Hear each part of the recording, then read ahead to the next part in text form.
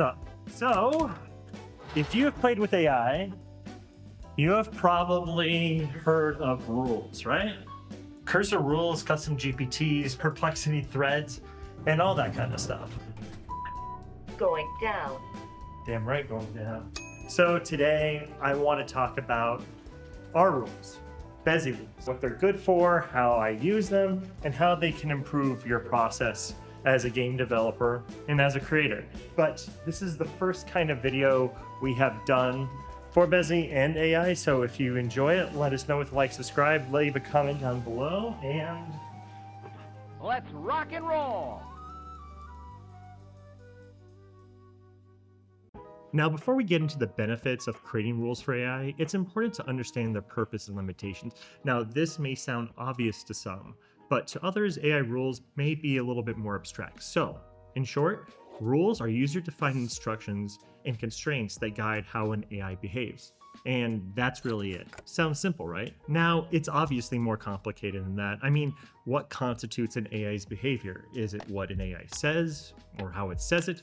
Are they one and the same? And this is where most people get tripped up. They confuse rules with context, and when that happens, they often have false expectations and get frustrated. So, let's simplify the difference to this. Rules set the boundaries of how AI responds, things like tone, format, and style, while context is the information that AI uses to decide what to say. Facts, examples, past chats, websites, all of that. And usually context drives the content, but rules can still shape how that content gets used and delivered. Yeah, I think that's accurate. Now, let's look at some examples of rules to show the true potential. And to start, let's tackle voice and tone. One powerful feature of LLMs is their ability to communicate in a style that's unique to its user and to their project. So, what does that look like exactly? I really appreciate it when my coworkers or my AI refrain from glazing. Personally, when AI does it, it adds years to a task and cuts down on my creative deliverables and train of thought. So, let's fix that. As you see here, I have specifically added a rule never compliment me, never use filler words like perfect or great, don't glaze me, be direct. Next, I wanted my LM to be blunt, somewhat playful and concise, and I said exactly that. I put that last one in all caps because it puts a little bit more weight on it, and I really want to avoid too much wordiness and fluff. Here is an example of two responses, one with tonal rules and the other without. Cool, right?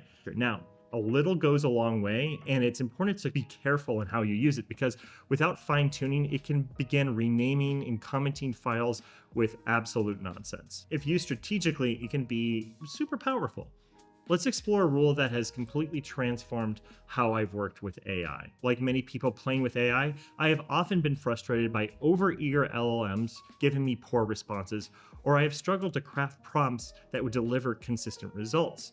And while I could blame AI products for not mind reading, it is often a two way street. And in many ways, how we collaborate with AIs is similar to how we talk with our peers. So, one rule that has completely transformed my process is to have AI only ask me two to four short follow up questions.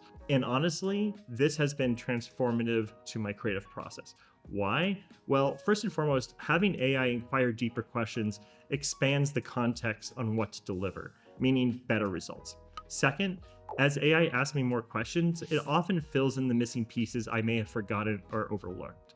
And third, it helps me iterate on my ideas earlier so I don't have to backtrack later. And I'm not gonna lie, while follow up questions often adds a few more prompts to the thread, the quality of my work has increased by 10 times.